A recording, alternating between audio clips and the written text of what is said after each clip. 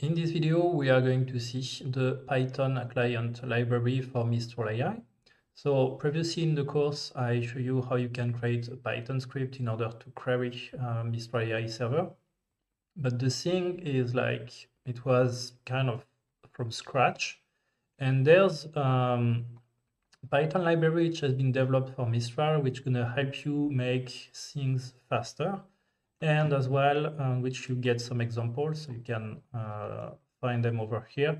But basically, in order to get started, we'll just stick to this uh, documentation. Unfortunately, or at least as I am saying, you need a lot of time when the documentation is written over here. It's written with high context, so it implies that you're already uh, coding, which maybe that's not the case. So uh, the first thing to know is that before um, running this, this command, well, you should of course have uh, Python installed, which may not be the case. Of course, you need to have Python installed. And then in order to run this, in general, uh, your computer may tend to say no unless you have what you call uh, a virtual environment. So to say that's a place in which you can install any version that you want without getting any um, how to say any conflict with uh, other version. So when you take your uh, terminal, such as the one I have over here, uh, the first thing that you do is like you create your um, environment by running the following command, which are um, uh, Python uh, dash m venv env and then once uh, you do so then you can uh, perform the mvenv uh, environment in order to be able to no sorry python 3 mvenv env and then source env being activated and then as a result you will move from a folder to an environment in itself then if you run as the script it is, uh, you will see that it's going to tell you, hey, there's an error because you have not defined the OS part. So the OS part, in order to have it, you need to tweak your script and to add import OS. So to say, if you look at the following documentation, they forgot to mention that over here you need to import another library, which is the OS one.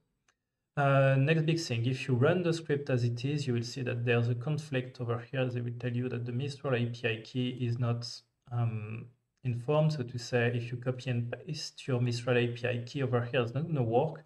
In order to do so, you need to export uh, your variable uh, like this with an export, which is going to be uh, over here, you need to perform the line, which is export Mistral API key, then your API key, and then you can finally start to execute the script.